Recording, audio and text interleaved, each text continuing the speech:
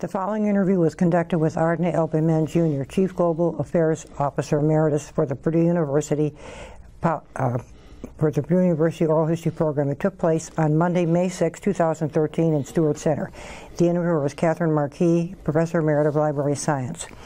Welcome, and thank you, Dr. Bement. Thank you very much. the, your appointment as the inaugural director of the Global Policy Research Institute and Chief Global Affairs Officer was in June 2010, after serving as director of the National Science Foundation from 2004 to 2010. You're also the David A. Ross Distinguished Professor of Nuclear Engineering and head of the School of Nuclear Engineering. Guilty as charged. the, let's start off talk by talking a little bit about the Global Policy Research Institute, starting with its background and how yes. it was founded. Uh, when President Frances Cordova developed her strategic plan, she convened uh, several faculty committees, all of whom, all of which identified a public policy research institute as a need for the university in order to meet the goals of the strategic plan. Uh, discovery with delivery, and especially meeting global challenges. Uh, so this led to a Public Policy Institute task force uh, chaired by Ambassador Curiel.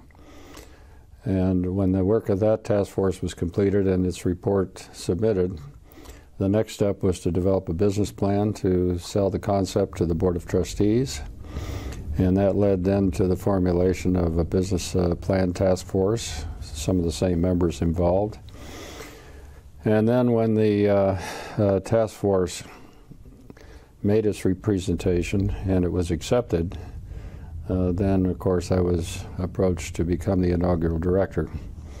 And that was in, uh, I started on June 1st, 2010. Okay, good um, a vision and some of the key characteristics of the institute? Yes, the uh, Public Policy Research Institute was designed to in, in, encompass the core capabilities of the faculty uh, to address challenging global issues, uh, to develop an education program, both an undergraduate program and a master's program in policy, public policy, and also to provide uh, not only outreach for the for the faculty at large and students and staff through uh, workshops, uh, conferences, and seminars, but also to the public at large through uh, a website and through publications sponsored by the Global Policy Research Institute. And so that was the way we got started, and that's what we've been busy at for the last oh, two and a half years. You have been, right. What are some of the um, key characteristics? Uh, you have some global concerns, I think, that in agriculture. Yes. Um, th there are many universities that have policy centers. Uh, many of these I was going to ask you about that. Yeah, many of them are self-contained. They have a staff and they do the policy work.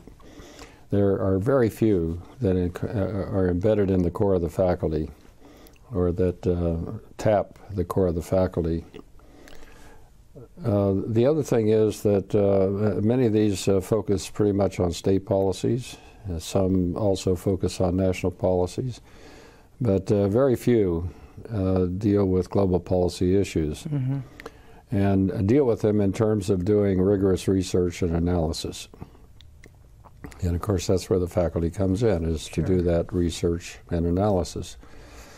Um, uh, the other thing is, in, in, our, in the survey of the business team, they found that um, most of these policy institutes had at most maybe two or three particular themes that they specialized in. But since we were dealing with faculty capabilities, it was important to leverage the strengths of our faculty in many areas, to include agriculture, food safety and food security, uh, energy sustainability, environmental sustainability, economic development. We have um, uh, the nation's top agricultural economics uh, department, uh, health, uh, security, uh, both homeland security, uh, national defense, but especially cybersecurity, where we're well noted through our CERIAS Center. And then finally, society and leadership uh, looking at some of the social components. in, in many of these studies, it's important to recognize the interrelationships among technical factors, social factors, and economic factors because they're all interwoven. Mm-hmm. And uh, so that's the way we go about our work, and that's the way we focus our efforts. Okay. Are the other institutes, are they affiliated with academics primarily? Or? Oh, yes. I think they're, I wouldn't want to hazard a number, but probably over a thousand university based uh, policy sure. institutes. Um, most land grant universities have policy institutes that focus on state right, I see. state okay. uh, policy issues. Okay. Now the location to, uh, for the researchers, where it's, it's located close to campus. Yes. Right. Um, we were very fortunate at, at, about the time that the task force was uh, developing its business plan. Uh, the Schoewe House was donated to the Purdue Research Found, uh, Foundation uh, this was uh, owned by Anne and Schoewe, uh, Tom, Thomas Schoewe during the time that their daughter was attending the university. And when she got her degree, they uh, they left and went back to California. So it was off the market for two or three years, and they decided to donate it to the Purdue Research Foundation. And so these two efforts came together naturally. The Schoewe House would become then the the home for the Global Policy Research Institute. Okay. Let's back up a little bit. On the business plan, were you involved at all, or was that handled, done before no. you came? Uh, much of the work by the faculty was concluded, and the okay. approval by the Board of Trustees obtained before I was approached by President Cordova. Okay, all right. Uh, staff and funding, a little bit about that. Uh, the university provided uh, two years upfront funding uh, since that time, because of the success of the Institute, they've also provided recurring funding. Okay. In the meantime, we've been very active uh, soliciting uh, private gifts uh, for uh, developing a found, found I'm sorry, an endowment, and also to support special programs of the mm-hmm. Institute. And so the the institute is financially sound. Yeah, sounds good. Some of the let's move on activities and programs. Let's talk. You've done some there have been some presentations that you've given, certainly to the President's Forum, and uh, one was at that seventh annual meeting of the Science and Technology in Japan. So the Institute has done some presentations. Well, okay, that uh, that gets to my personal activities. Ah, um, okay. But the, as a as a representative of the institute, with the involvement. Well, some of these were uh, obligations that I had uh, uh, I had made before I left the National Science uh-huh. Foundation. Uh-huh. Okay. So for about a year, I was quite active and engaged uh, and engaged in international activities. Since that time, uh, most of my international engagements have indeed been uh, in support of or GPRI or representing GPRI. Sure. Okay. Um, the GP, um, the GPRI awards, you gave some in February of this year to study food and health issues. Can you talk a little bit about those awards, how they come about? Yes, uh, right at the very beginning, uh, the faculty identified the need to engage a, a, broader number of faculty in policy activities. There were across the campus. Across the campus, there were five or ten that are, were quite active in policy work. They wanted to expand that to a more representative group. Uh, furthermore, there, because these are, are very complex issues and pretty mm-hmm. much at the systemic level, it requires because of the complexity, uh, interdisciplinary research. So it was necessary to engage other schools and departments than had been uh, uh, traditionally involved. So we, uh, they identified a faculty incentive grant. They call it a seed grant. We called it an incentive grant because we expect that out of this incentive grant, there'll be larger grants that will uh, result. And starting uh, even in the first uh, summer, we had our first solicitation.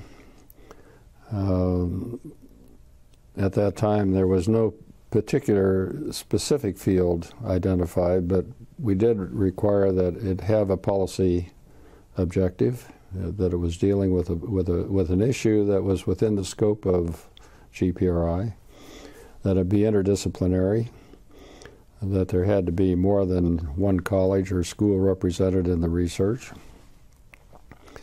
And uh, ideally, it would also involve international participation. Uh, so that's a tall order. Mm-hmm. A little bit later, we also require that in some of these incentive awards, we increase the amount of the award from about 40,000 to about 50,000. Um, we, we also require that not only the technical factors, but the social and economic factors also be addressed in the course of the research. Mm-hmm. Um, um, ideally, that would involve economists and social scientists, and that was our expectation. But in some cases, uh, there are engineers and scientists who are also very savvy on social Sure. issues and also economic issues. Right. Uh, so uh, that is that has been a very successful program. We've given uh, grants in three categories. One is research incentive grants. Another category is the development of policy briefs, and these are of, of two type: uh, technology-informed policy briefs and policy education briefs. Briefs. Mm-hmm. Uh, I think uh, the total number of faculty incentive awards for uh, research awards have been around 16 or 17 to date. Uh, the um, uh, policy brief awards have probably been around 10 or 12. And then uh, we've also sponsored workshops, about six to eight workshops Mhm. over the past two and a half years. Right. So those three categories are where we uh, invest our, Right, our okay. faculty funds. All right. Yeah, you mentioned, I was going to ask you about the policy briefs, and there was a, an incentive and award solicitation for policy briefs, and you mentioned that uh, yes. just a moment ago. That's right. Right.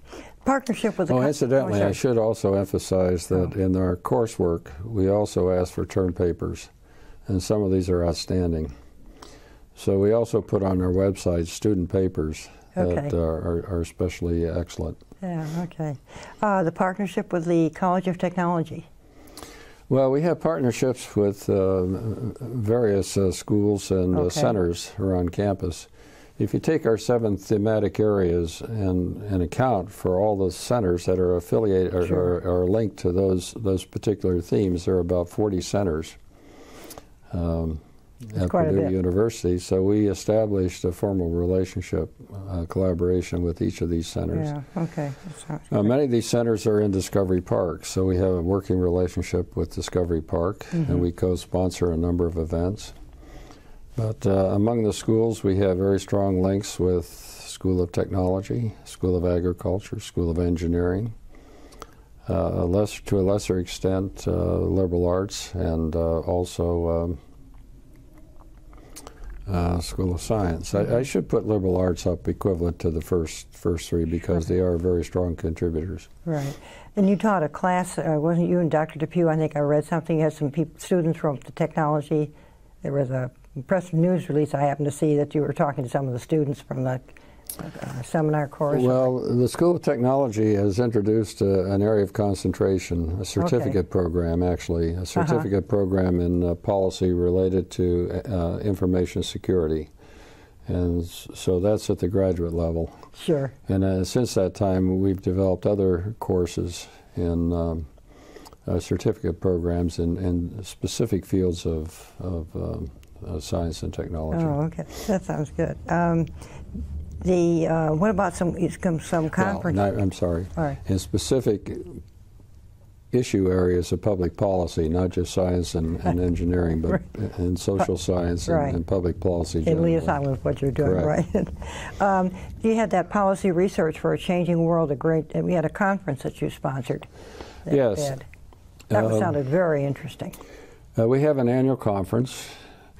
We, uh, we established right from the beginning an external advisory committee or council made up of very high level people, uh, some at ambassador rank, uh, some at corporate CEO or senior vice pres- president rank, and um, uh, some at uh, sub cabinet rank in, in the federal government.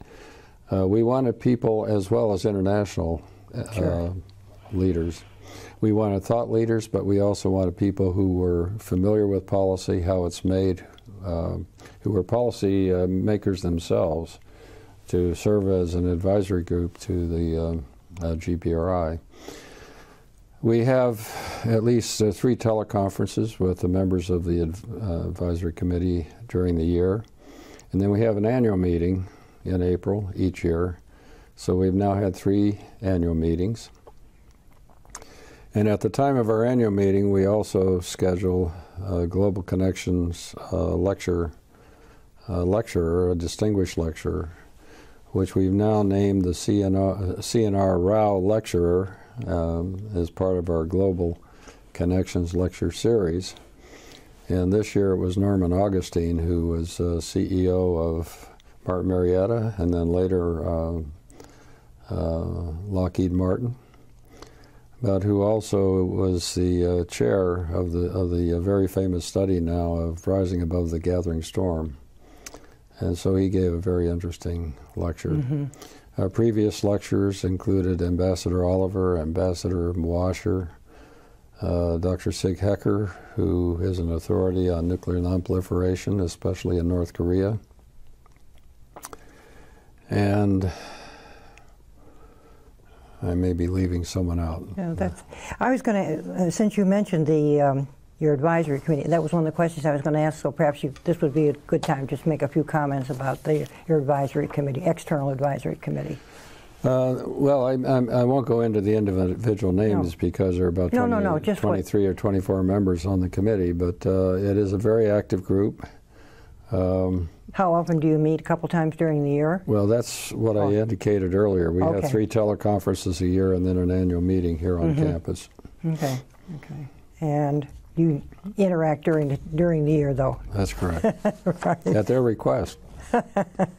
Um, then uh, could you talk, make a couple comments on on that uh, your invited the lecture series that you have? Uh, you have a invited lecture series, don't you? Yes. Yeah. Well, as far as um, seminars and lecture series, uh, some of these we co-sponsor with other centers. Okay. Uh, but the one that is our showcase lecture series is the CNR Rao CNR Rao lecture series, lecture distinguished lecture, that is uh, conducted in in connection with our annual meeting Okay. of the External Advisory Committee. And some of the names I mentioned earlier are names of our lecturers. Do you have any lectures, uh, any uh, lectures during the year, or is it normally just the one that in April? Do you have any others, any others during the year? Of the lectures, this institute. Uh, we usually have about uh, two a year. okay. Um, these are all videotaped. Uh, they're all available on our website. And uh, in many cases, the written text is on our website. So they're available openly to the public. Okay. That sounds. And they're, they're quite worth reading. um, let's see. Um, the Master of Science in Public Policy and Public Administration is that uh, Uh, that was in the business plan. okay? And uh, that was there for the reason that uh, there was such a master's program about uh, 10 years ago that um, did not continue for lack of student interest. Okay. Um, we've had that in mind, but we thought we would start with certificate programs first Okay. and then broaden that into areas of concentration. And then eventually, once we've developed the, uh, the uh, faculty and the student interest, we would then expand it into a master's program. Hmm So that's still on the horizon, but uh, we're taking it step by step. Okay, that sounds good. Uh, and I, one thing I was going to ask you about college and university, but you already already mentioned that they're similar institutes, but not the same as the one that, that's here. Okay. Um, I, I should say, incidentally, we've also sought uh, interaction with other policy institutes. uh-huh. Um, uh, we have a, a working relationship with Notre Dame uh, University. Uh, we've had uh, periodic uh, connections with the Chicago Chicago Council, and uh, also with Rice University. Uh, Neal Lane, who is also a former director of National Science Foundation, is connected with that Public Policy Institute. Mhm. Um, I wouldn't say that these are robust yet, but uh, there's a desire to make them Right. so. Right, okay. Um, talk about a couple of your awards and honors, since I should mention that this is part two because we did an uh, interview earlier. But the um, honorary, you had some honorary doctors. You got the Legion of Honor with the rank of Chevalier from the French Republic. Yes, that's Tell us a little about that. Um, well, actually, I've had two international uh, awards. Um, One is the uh, Imperial Order of the Rising Sun from Japan, which was I have that presented by right. the uh, the Emperor of Japan, and then the Chevalier de Légion d'honneur, uh, which was uh, uh, presented by President Sarkozy. Um, yeah, those were very uh, prestigious awards. Tell me, how did you hear about? Did, did they notify you in advance? I sometimes ask people, and they say sometimes it's kind of a sword prize. Uh, it, it works that way. Uh, uh, in both cases, I received a letter saying that I had been selected, Uh-huh. usually six months in advance. And um, in the case of uh, the Order of the Rising Sun Award, I did go to Japan and I did receive that from the Emperor.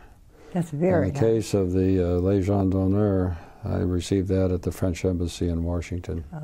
Did, what about that board of trust? You're on the board of trustees of this. I cannot pronounce it. The SKOL. Uh, Skolkovo. yeah. Well, I have two responsibilities. One is I'm a member of the Science Advisory Council of the Skolkovo Foundation. I should mention that Skolkovo is the name of a city, a town actually, Okay. on the outskirts of Moscow.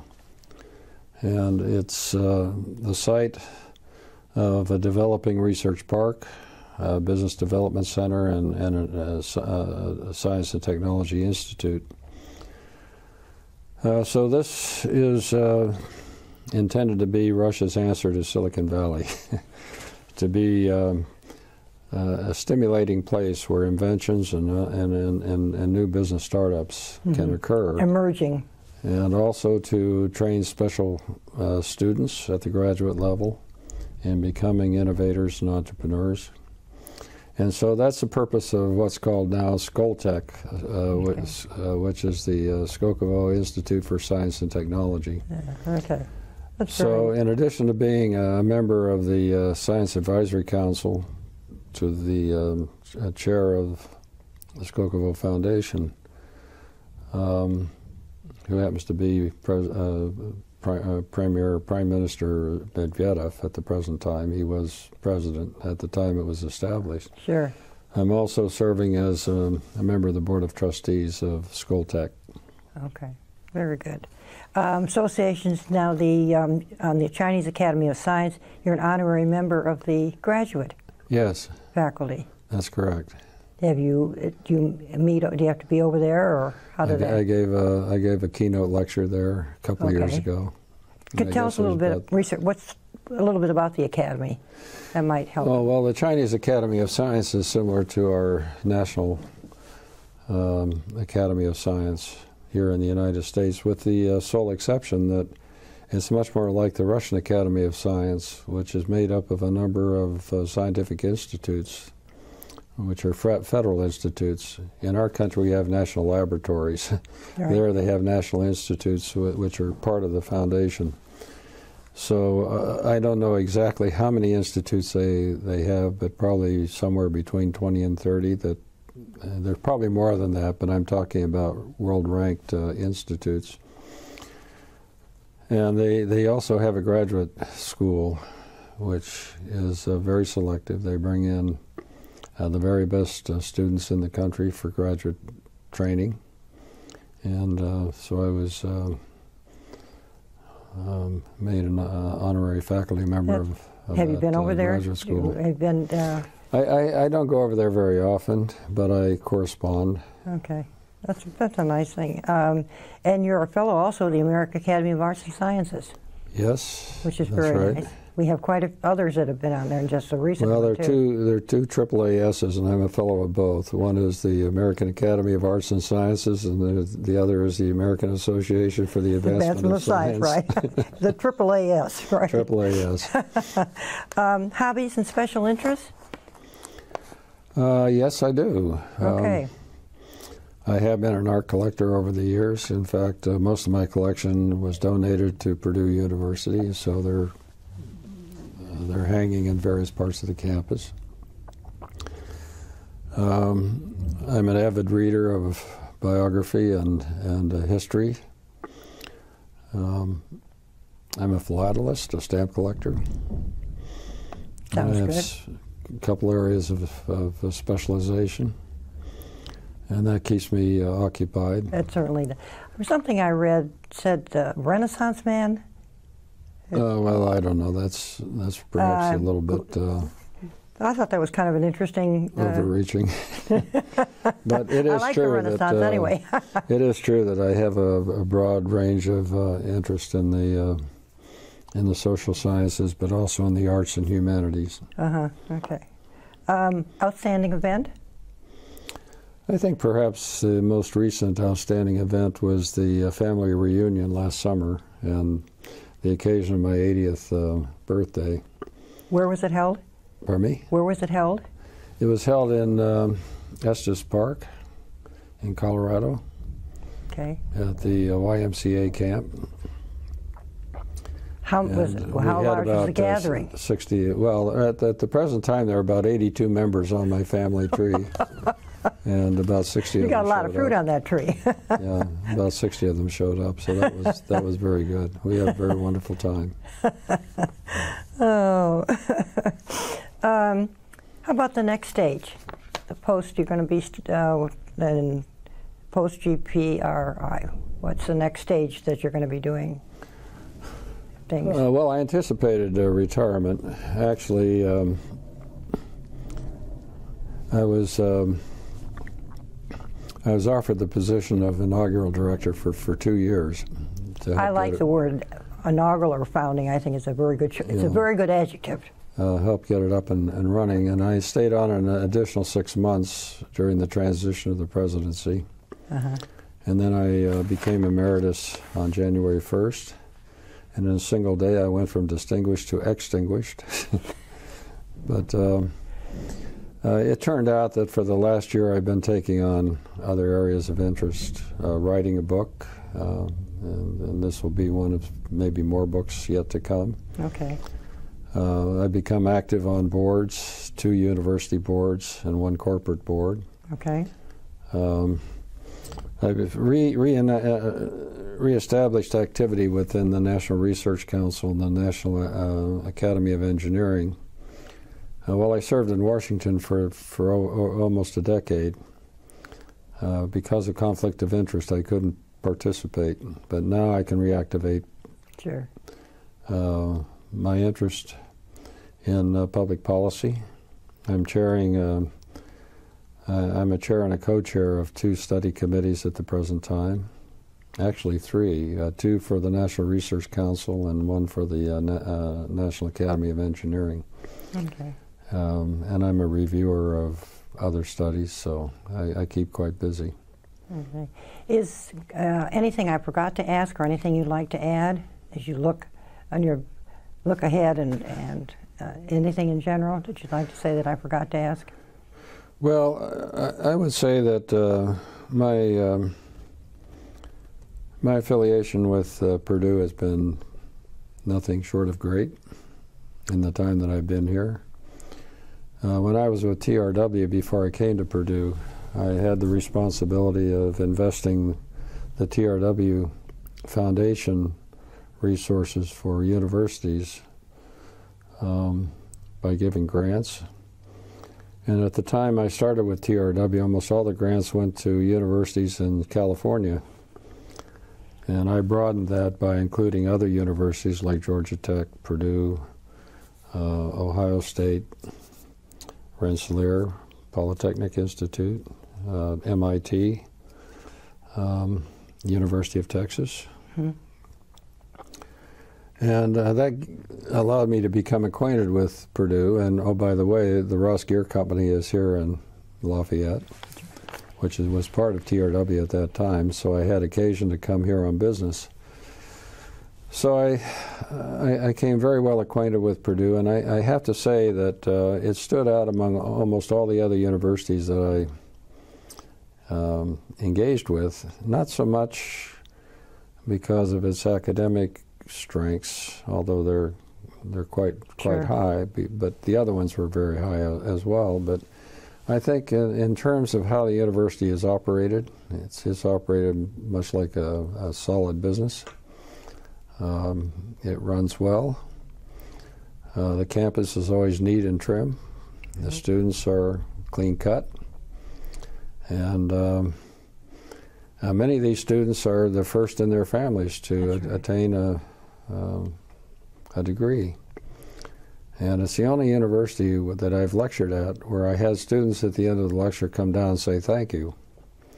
And that made a lasting impression on me. So when I was Yeah. offered the position of uh, professor in Right. uh, both the uh, School of uh, Materials Engineering and also the School of Nuclear Engineering, I jumped at the chance.